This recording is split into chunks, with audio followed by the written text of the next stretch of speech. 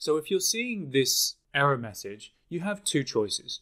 You can either find the other machines you're signed into and sign out from them, or you can do it remotely by going to Manage Activations, signing into your Trimble account,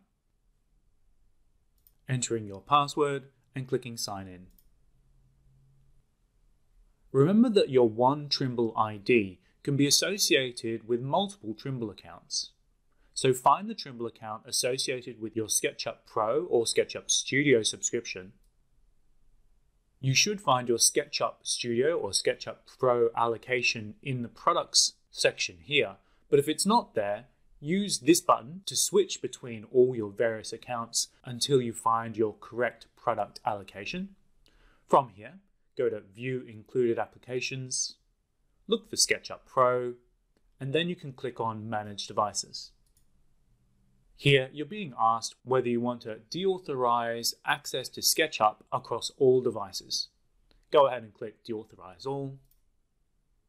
That's now been completed. Go ahead and press Done.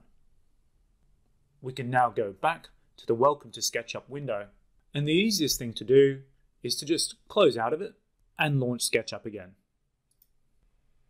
This time, you shouldn't have any issues accessing your subscription.